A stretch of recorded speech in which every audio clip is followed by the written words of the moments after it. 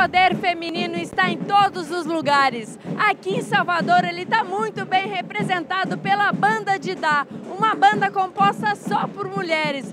Vê se o Pelourinho não tá do jeito que o povo gosta.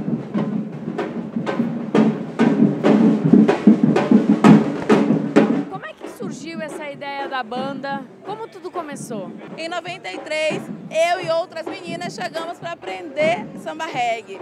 Só que o mais bacana é que o samba reggae é só uma porta de acesso a uma série de outros conhecimentos que a gente passa a ter, é, ter proximidade, especialmente perceber quem nós somos historicamente, politicamente. É um fortalecimento pleno da mulher, sobretudo da mulher negra.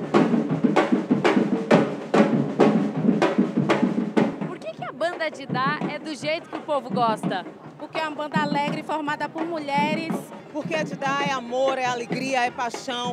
A Didá é tudo de bom. A Didá me traz paz, a Didá me traz amor, a Didá me traz alegria. Porque é uma banda feminina e é uma banda que o povo gosta, é uma banda de mulheres.